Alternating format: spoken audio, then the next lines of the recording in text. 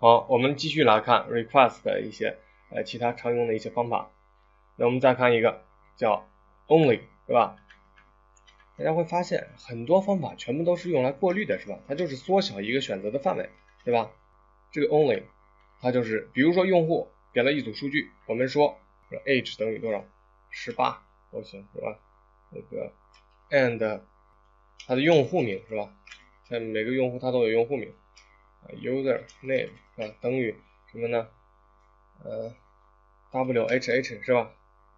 好，那它的什么呢？嗯，电话是吧？电话等于一二三四，是吧？这样一组数据，我们回车，它有了这样一组数据，它发回来了，现在等着我们去处理，是吧？那我们返回一下，全部打出来看一下，是吧？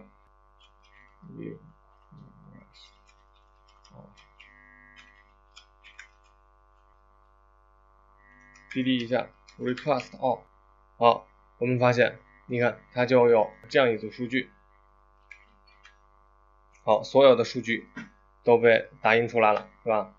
那这个时候我们可以去过滤这些数据，我们说 only，只有什么呢？只有，比如说 name，我们只要只要 name，是吧？刷新一下，大大家会发现它就返回了一个 name，是吧？那如果我们传第二个参数是 age。只要 name 和 age，大家发现只有 name 和 age 出来了，其他的东西都没有出来，是吧？因为这个方法叫 only，是吧？只有只要这两两项，那么要其他的项，大家可以在后头跟，是吧？以此类推。好，接下来是这个 except，是吧？第一个是 only，只有什么？那这这个 except 就是除了什么，其他的全都要，是吧？一，除了，那比如说我们说除了 name 和 age 呢？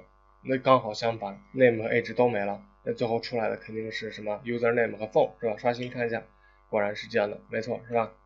啊，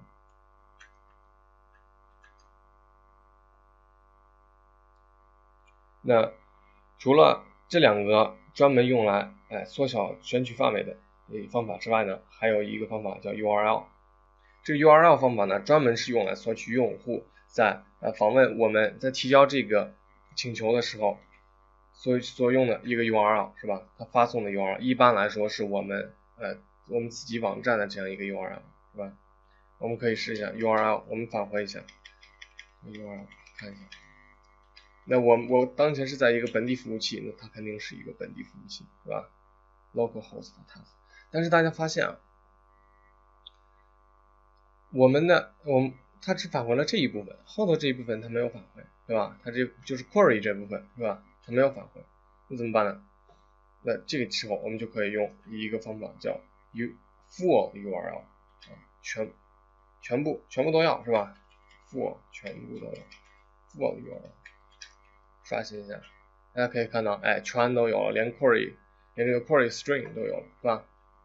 好，那这个呢是一个请求检索，请求检索的内容并不多，是吧？大家可以试一试。